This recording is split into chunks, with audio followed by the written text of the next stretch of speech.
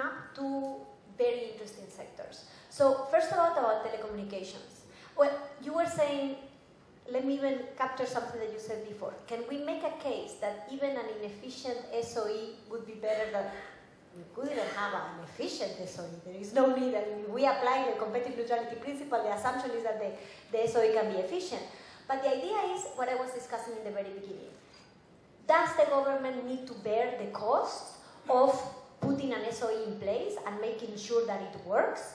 Or can the government inter uh, intervene in the sector through regulation? So in the case of telecommunications, the government, many, many years ago of the Philippines, took a, a decision that the, there was going to be a, a, private operators. They were not going to participate through SOEs.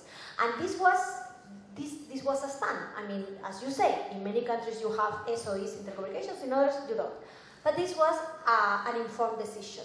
So after so many years, I hear what you say, but the question would be, could we not make a case that maybe the sector regulation that now is in place in the telecommunication industry might be related with why the market dynamics are not delivering efficient market outcomes because we are very much aware of what are the limitations and the problems of the existing uh, regulation, the, even the institutional overseeing of the, of, the, of the sector. So if the question is, can we make a case? I would say I would start by making a case on whether regulation can solve some of the problems. But then if we divert to the subsidiarity principle, the idea would be, can the private sector deliver the goods and services? My guess, and this is just an intuition, would be yes. So the problem here might not be a question of direct sector participation, but of regulation. And in terms of pharmacy, the, the medicine, that is a very different uh, question that you raise. And very interesting also, because it comes to the very idea of the beginning, the role of the state as provider to low-income households goods and services that otherwise they wouldn't have.